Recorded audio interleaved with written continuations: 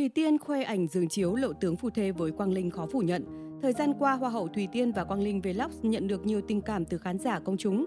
Từ những cử chỉ hành động ăn ý đến câu nói thả thính đều dễ dàng khiến fan đứng ngồi không yên, liên tục đẩy thuyền cho hai người. Đến nay, thuyền tình yêu Angola vẫn chưa chịu chìm. Người hâm mộ tìm ra loạt ảnh chứng minh Hoa hậu Thùy Tiên và Quang Linh có tướng phu thê từ nhỏ. Không chỉ có sự tương đồng trong công việc mà cả hai còn sở hữu những điểm đồng điệu đến bất ngờ. Fan hâm mộ tìm ra những khoảnh khắc mà chàng và nàng được ví như định mệnh của nhau.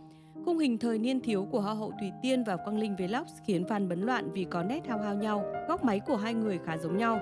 Khung hình ở không gian sống có nhiều điểm tương tự. Hình ảnh lúc nằm của thủy Tiên và Quang Linh cũng khiến fan ngỡ ngàng vì quá giống nhau. Khoảnh khắc trùng hợp này khiến fan hài hước cho rằng đến cả ảnh dương chiếu, Tiên Linh cũng trùng nhau đến lạ. Hoa hậu Thùy Tiên chia sẻ về chuyện hẹn hò Quang Linh.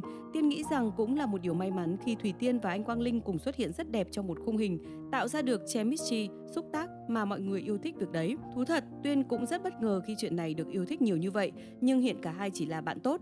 Lúc đi châu Phi xong, mình có được rất nhiều bạn tốt và mọi người với nhau như gia đình. Dù cả hai chỉ lên tiếng coi nhau là những người bạn tốt, Thế nhưng nhìn cách Quang Linh Vlogs nâng niu kỷ vật của Nọng Tiên thì nhiều người lại được dịp hy vọng. Mới đây, kênh YouTube của thành viên Tiến Nguyễn Team Châu Phi đã chia sẻ video chôn Quang Linh Vlog.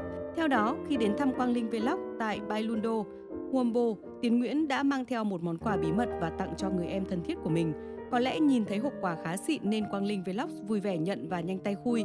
Tuy nhiên khi vừa thấy món quà bên trong thì nam youtuber bỗng nhiên đỏ mặt và cười không ngớt. Sau khi các thành viên khác của team châu Phi như Quang Dũng, Linh Philip đến xem thì hóa ra đây chính là đôi dép tổ ong màu xanh nõn chuối từng được Quang Linh tặng cho Thủy Tiên trong thời gian cô làm thiện nguyện ở Wombo, Angola. Ngay khi thấy đôi dép nhận được sự chú ý và bị mọi người bắt đi thử, Quang Linh Vlogs liên tục nói không được, mất mùi chân bây giờ. Các thành viên của team châu Phi cũng nhanh chóng nhận ra gương mặt ngại ngùng của Quang Linh Vlogs. Thế nhưng sau khi bắt máy quay, nam youtuber sinh năm 1997 lại bị chính những người anh em trong team của mình bắt quả tang đang cặm cụi ngồi đánh sạch sẽ đôi dép tổ ong của Thùy Tiên. Dù thoáng chút giật mình nhưng Quang Linh Vlogs cũng nhanh chóng thanh minh cho hành động của mình, đánh cho sạch để còn hốt chân không nhé. Hóa ra trong lúc mọi người không để ý, Quang Linh Vlogs đã nhanh chóng mang đôi dép vào nhà tắm rửa sạch sẽ. Thái độ giữ khư khư không cho ai đi thử dép của Quang Linh Vlogs khiến các thành viên khác phải bật cười và trêu chọc. Thế này mà ai làm mất đôi dép thì có khi Linh khóc cả đêm. Tuy nhiên, thời gian này mạng xã hội lại xuất hiện một đoạn clip và cho rằng Quang Linh đã có bạn gái.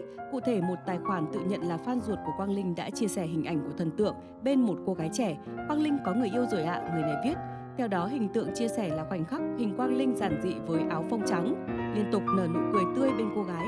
Nữ chính sở hữu gương mặt xinh xắn, làn da trắng hồng, cô diện bộ đồ đen, cũng cười nói vui vẻ để đáp lễ khi ở cạnh chàng vlogger. Không rõ thực hư ra sao nhưng dưới phần bình luận rất nhiều người tin và để lại cảm xúc bày tỏ sự tiếc nuối bởi như vậy thì thuyền linh tiên không thể cập bến.